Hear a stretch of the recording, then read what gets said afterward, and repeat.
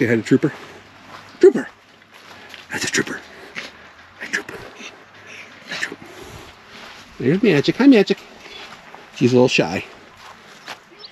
She's going to be having puppies, hopefully, in a few months. Hi, Magic. A little protected right now, so we'll leave her alone.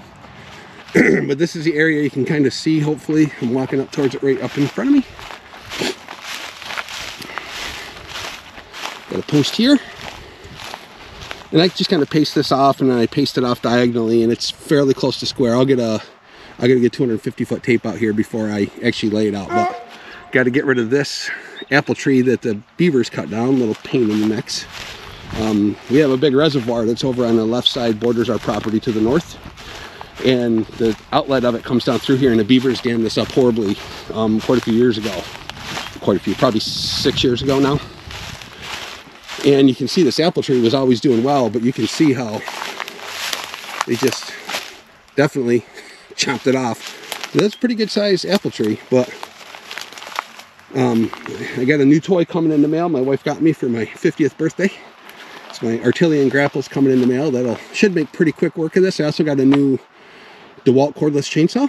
Um, I have a Stihl uh, MS260 Pro chainsaw for bucking up wood and everything, but lemon stuff and just real quick chopping a couple things off like this, I think the electric, being able to pick it up, hit it and go and set it back down, I think is going to be awesome. Is going to be so much um, easier to do when you're limbing and just trimming up stuff around the yard. And I also got a 15 foot extension pole saw that takes the same battery DeWalt again. So that I got with some money I got for Christmas. Looking forward to using them. So but we're to get this all cleaned out. You can see right behind me here, got the other post. So from there over to right about in there, um, that's about 75 foot. And then again from here all the way down this fence line. And it's hard to see the post up ahead of me, but all the way down here, this is about 120 foot down. So I was assuming a, approximately 15 foot spacing on most of the trees that I'm going to get. Um, definitely going to have to have, I, I'm debating on whether to put a fence in here now. Um, I don't want to have to run electric over to here underground and do all that. But I definitely need to keep the deer out. There is like there's like a deer highway that runs back through here. It's nice during hunting season, but not so much when you're trying to grow trees. So you can see a little bit back in there how the creek is. There was an old dam um, that was there was one here there's another one down there, and then there was a third one that was farther down. Um, I got some nuisance permits and was able to get permission to get those yanked out and get that cleared out. We got all the beavers gone. Um, we got to get some more stuff taken in there so they won't come back as easy next time. So, but yeah, I'm kind of excited. This is pretty undulating in here. I'm still trying to decide if I want to uh, mow this down tight and rototill it up and get the land plane and try to level some of this or how I want to do it. So Still thinking about that. I think I might just mow it. Um, it's not horrible. We have mowed this in the past. We just raised it up a couple of notches, but even doing it with a brush hog would work just to keep everything down. And I think for this year, we're just going to take and uh, I saw some really good ideas about taking concrete mesh wire, cutting off. I think that was Country View Acres. I saw um, Evan doing it on there. Take some of that, you cut it off, and you can roll it up, and I'm going to make some tree cages that are about four foot in diameter. I think for this year, that'll keep everything, the deer away from my trees and let them start growing. Hi, Trooper. So that's what we're looking at, but got some apple trees in there. It's nice, it does bring the deer and the wildlife around. Um, I want to get some of these scrub trees taken out because we do have kind of a wetland back in there, but we really can't see it from the house. So I'm really looking forward to, again, the grapple coming. I'll be able to chop those off with a saw, get them push, or even dig them right up with the bucket maybe, well, it's backhoe, whatever, however I get rid of them but being able to clamp onto them with that Artillery grapple and get them out of here, I think I'm gonna be able to clear a lot of this up and just make it look a lot better. We'll be able to have better view. There's a lot of geese and ducks. We get deer come down, drink from the stream. Um, it's just pretty to look at out your back door, so. Whew. Never enough hours in the day. It's about 8.30. I got five of the holes dug for the 13 fruit trees.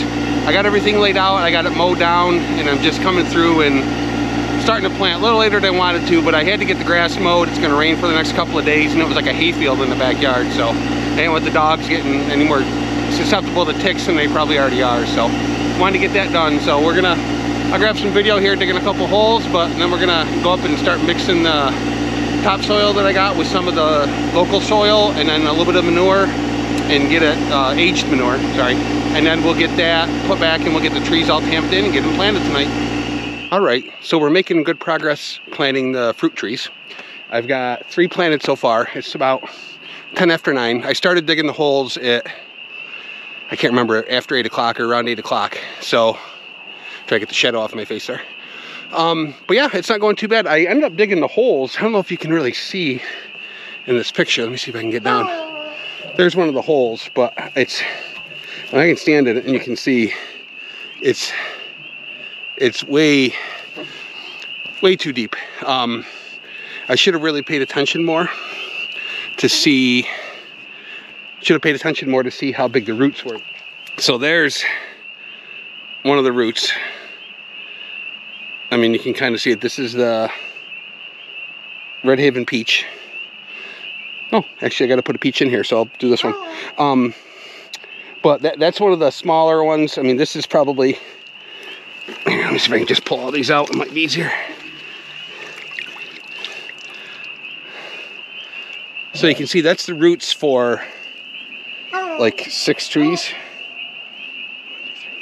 Seven, seven trees.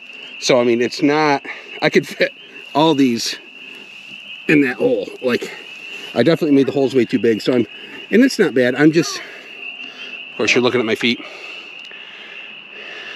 It's not too bad. I'm just raking some of the dirt back in. Um, and throwing it in the bottom of the hole of the packet. And then I have a mixture of topsoil that I got, which actually has some composted material in it, along with earth. And then I got some um, aged cow manure that I'm mixing in with that. So once I get the tree to the level I want it at, I'll put the, you know, I'll put the roots down, then I pack the mixture of the topsoil and the manure around it. Then I just fill it back in over the top with the earth that I pulled out of the hole. I'm leaving it down a couple inches for now. I can always oh. come back and put more dirt on it. But it's also going to allow me to put some mulch in there.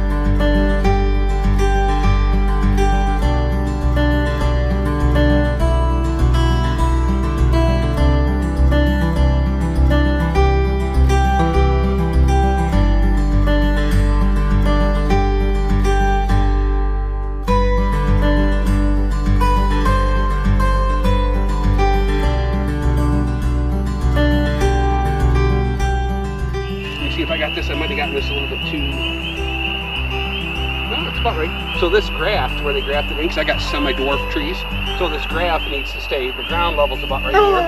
And we said make sure this stays about two or three inches above. The problem is, is if this graft gets in below the ground, it can start shooting roots off of its own, and then the tree itself will grow, and it will actually grow into a full-size tree instead of being a semi-dwarf. So that's why you want to keep that, um, this above it. I don't think it'll kill the tree, but you're not going to end up with the type of tree that you want.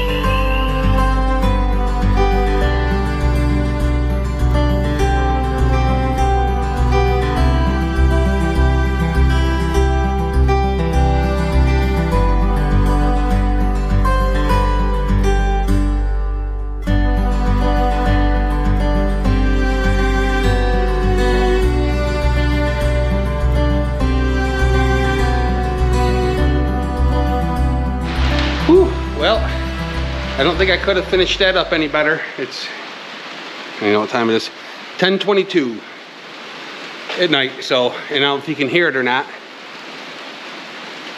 It was barely sprinkling on, just kind of spitting on me a couple of times. And I was just finishing putting in the last tree and it started raining. Of course, it would have been a little quicker had I, um, had I been sent the right order. Um, my fault, part, well, my fault for not looking at the order before I went and tried to plant everything.